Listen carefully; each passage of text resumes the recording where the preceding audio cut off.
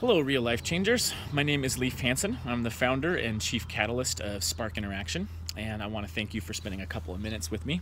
So, first of all, let me just say that I'm really excited and honored to be guest coach and to be sharing some powerful ideas and questions and activities with you over this next couple of weeks using this game changing technology. I've been using it myself over the last few months or so, and besides being a gorgeous app, I'm really impressed with how it's helping me to become more aware of the magic moments in my life, particularly the ones that are enlivening and the moments and the choices that are kind of wah, wah, wah, you know what I'm saying?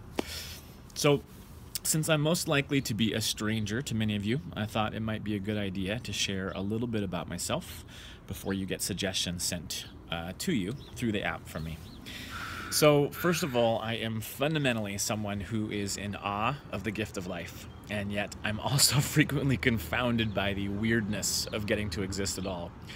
I am a dreamer, someone who wants to live life as fully as possible to help others do the same, and particularly those who are visionary game changers, people who at least want to be teachers, coaches, leaders, facilitators, and helping them to creatively express their authentic core passions particularly in ways that make this world a more loving, magical, and fun place to be.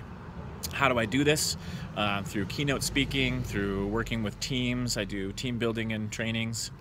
Um, I have personal and professional development programs that are focused on helping people to discover their magic, to amplify their unpretentious awesomeness.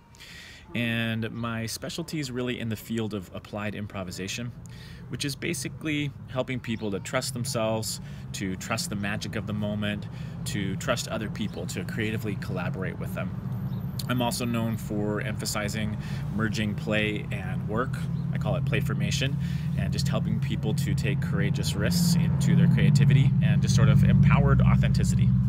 So I see humanity being a major crossroads right now, one where we'll either learn to be one people and bring amazing things in this world or become extinct, or at least set our back, selves back a few hundred years. Um, because of technological advancements, we're also redefining what it's going to mean to be human, what our core values are. And maybe, just maybe, we'll be moving ourselves out into the stars while we're hopefully taking care of this planet. So, um, what I'm hoping for is to give you a taste over this next couple weeks of ways that you can discover your own magic and so that you can see that life wants you to be magic as well.